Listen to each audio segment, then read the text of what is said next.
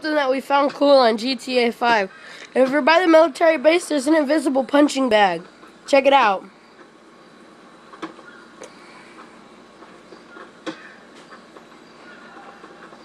It does not, we don't know where it's at, but like it's around the military base and it's just invisible.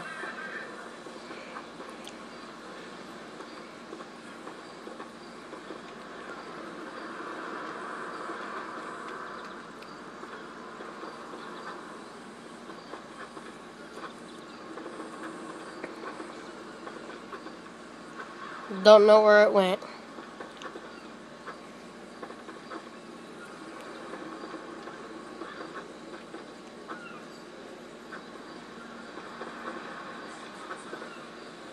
Well, that's it.